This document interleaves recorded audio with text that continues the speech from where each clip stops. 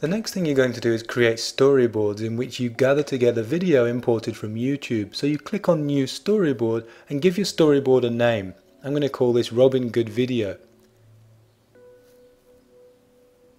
Now when you have your storyboard, go to the search bar at the top and enter any search term that you'd like to find some videos with. I've put in Robin Good and as you see a new box has just opened up and within that box lots of different videos with the Robin Good tag in YouTube are starting to be loaded into the system for me to choose from.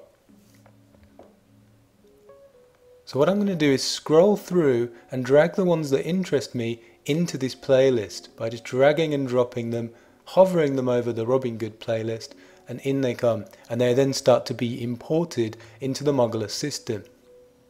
Let's do that again. So you drag it on and let go just over there and as I say everything is fully imported because you can add motion graphics and all kinds of other things so you're not relying on YouTube's streaming capability while you're actually working.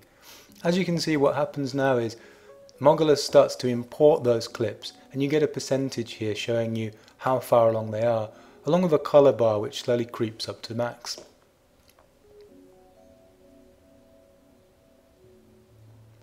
While that's happening, I'll show you another way of bringing in video because there is another alternative. If you go up to the top of the screen, you can click on my computer and you can bring videos in that way. So you get a title and a description, choose a storyboard and load your videos in a number of different formats straight from your hard drive.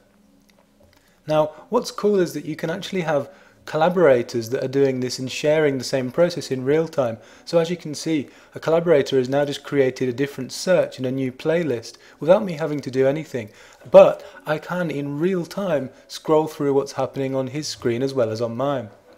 So here are the Web2 videos he's bringing in and he's now created a playlist and as you can see he's adding those items to the playlist and as I watch they're appearing in front of me. So in this way we can collaborate together and I can take control also at any moment. So this is a really effective way to be able to collaborate on creating your playlists anything you can do in Mogulus you can do together, which is one of the great beauties of it. And of course, you can actually reorder your different clips. And as you can see, my colleague's bringing in new clips, and then he's going to resequence one of the clips. So here's the next one. And he then goes in, he grabs the clip, moves it to a different position, and on my screen, I see that changing in real time. So full real-time collaboration